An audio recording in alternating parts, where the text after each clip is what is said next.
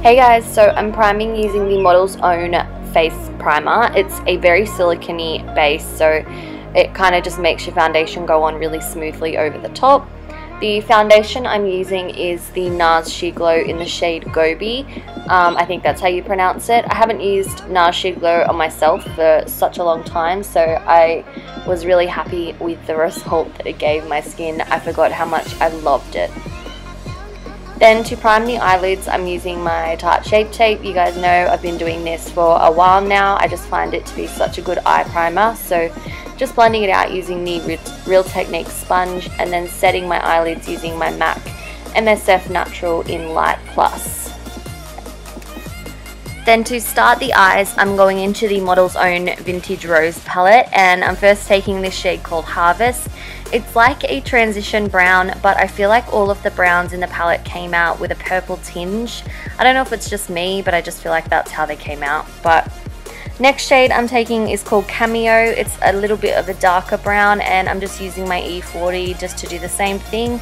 Just building up the intensity in the outer corner and then bringing it through the crease.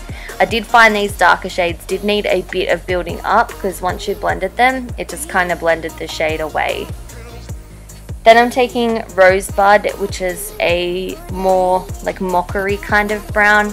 And I'm using an E25 to kind of pack this in the outer corner and then start to build it up in the crease. So as you can see, I'm packing first and then bringing it through the crease and then going into the inner corner and packing some of the shade on in there as well.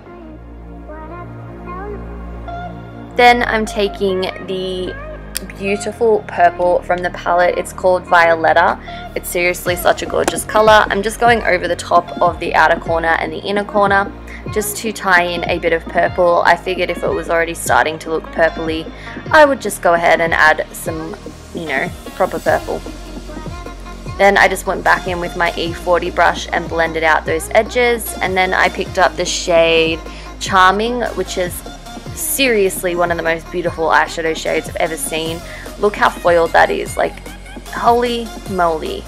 So I applied it to the center of my eyelid and then I went in with the shade Antique, which is kind of like a burgundy beigey shade.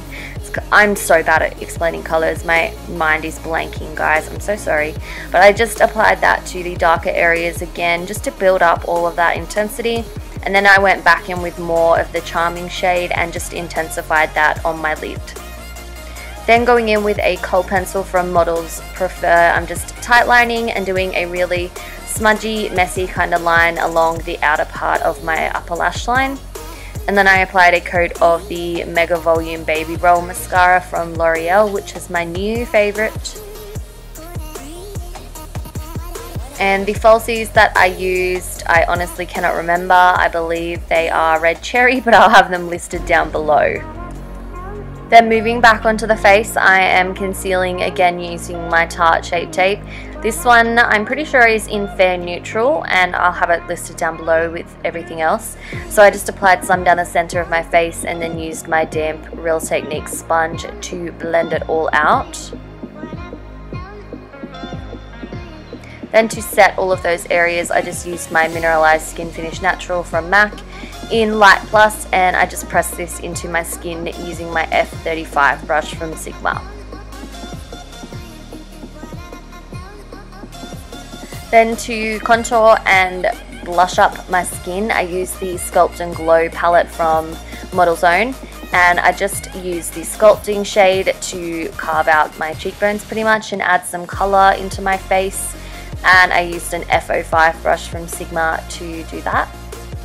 And then I took the blush shade from the palette and used an F40 to apply that to the apples of my cheeks and back towards my hairline. And then I took this incredible highlighter. I, I love this highlighter so freaking much.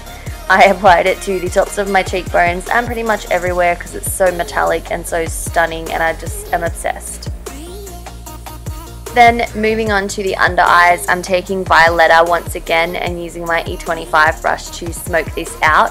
And I'm joining, joining it up with the outer corner so that everything's nice and cohesive. Then I'm taking the shade Antique and just doing the same thing, just adding a little bit of that shade in with the mix.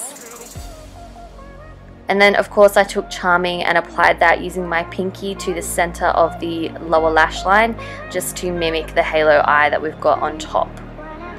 And then finally I took the shade Lily to highlight my inner corners and my brow bone using a Sigma E30 brush. Then I just went in with my kohl pencil in my waterline to make it look a little bit more smoky and applied some lower lash mascara and that finished off the eye look. For lips, I'm using this lip liner from Model's Own again. I will have it listed down below. And so I just outlined my lips with this and then I went in with this lipstick from Model's Own. It's in Baby Kiss, but it was a bit too pale for me. Like, look at my face when I realized how pale it was. I was like, uh, and no. So I added a gloss from Tarte. This is, I forget what shade it is. I'm so sorry, but it'll be listed down below. And that finished off my look. I really hope you guys enjoyed it and I will see you in the next one.